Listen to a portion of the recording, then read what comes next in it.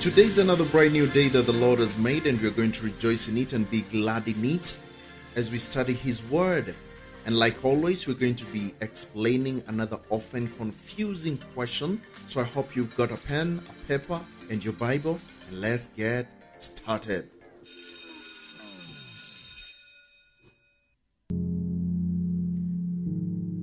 Let me ask one question. Why did God love Jacob and hate Esau? The Bible tells us this in Malachi 1 verse 3 and also Romans 9 verse 13. Have you ever asked yourself this question? Why did God love Jacob and hate Esau? Now let's go to Malachi uh, 1 to, uh, to 3 and we see the Bible declaring that uh, I have loved you. I have loved you, says the Lord. But you ask, How have you loved us? Was not Esau Jacob's brother? The Lord says, Yet I have loved Jacob, but Esau I have hated. And I have turned his mountain into a wasteland and left his inheritance unto the desert jackals. And likewise, you see Malachi 1, verse 3, and uh, is basically quoting Romans 9, 10 to 13, which says, Not only that, but Rebekah's children had one and the same father, our father Isaac. Yet before the twins were born or had done anything good or bad, in order that God's purpose in election might stand, not by works, not by him who calls, she was told, the older will serve the younger. Just as it is written, Jacob I have loved, but Esau I have hated. Hmm. So why did God love Jacob and hate Esau? If God is love, the Bible tells us that God is love. First John 4 8. The Bible says, He that loveth not knoweth not God, for God is love. So now, if God is love, why could He hate anyone?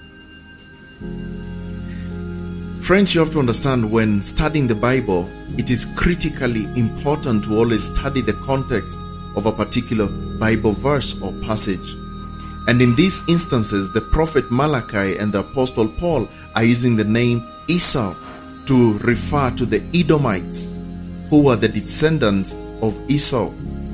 Isaac and Rebekah had two sons, uh, Esau and Jacob, and God chose Jacob, who he later renamed Israel, to be the father of his chosen people, the Israelites. And God rejected Esau, who was also called Edom, and uh, he did not choose him to be the father of his chosen people. Esau and his descendants, the Edomites, were in many ways blessed by God Think about Genesis chapter 33, verse 9. All right, He says, and and Esau said, I have enough, my brother. Keep that thou hast unto thyself. Mm-hmm. So, considering the context, God is loving Jacob and hating Esau. But uh, this has nothing to do with the human emotions of love and hate. It has everything to do with God choosing one man and uh, his descendants and rejecting another man and his uh, descendants.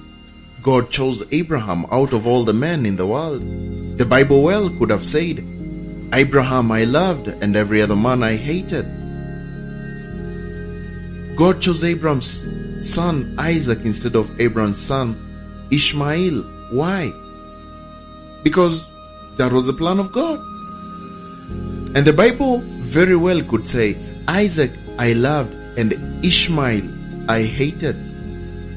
Because Romans chapter 9 makes it quite clear that loving Jacob and hating Esau was entirely related to which of them God chose. There are hundreds of years we see later on, after Jacob and Esau had died, the Israelites and Edomites became bitter enemies, and the Edomites often aided Israel enemies in attacks on Israel. And likewise, uh, we see Esau's descendants brought God curse among themselves. Genesis 27, verse 29 tells Israel, May nations serve you and people bow down to you. Be Lord over your brothers, and may the sons of your mother bow down to you. May those who curse you be cursed, and those who bless you be blessed. Now, do you get the point? God does not hate, God is love. But then, God has a plan for everything. He always chooses whom He wishes. He can choose one nation and not choose the other. He can choose one man and not choose the other. And that's what we need to understand. And that's the end of our today's Bible study lesson. Hope it was a blessing to you. Hope you've learned something. You can always uh, download this podcast to listen later offline or to share to your friends and family. And please don't forget to favorite and subscribe to our channels to always be notified whenever we post a new podcast. And if you'd like to support this ministry, please you can do so in the descriptions, uh, the details in the description below. Otherwise, hope to see you in the next one.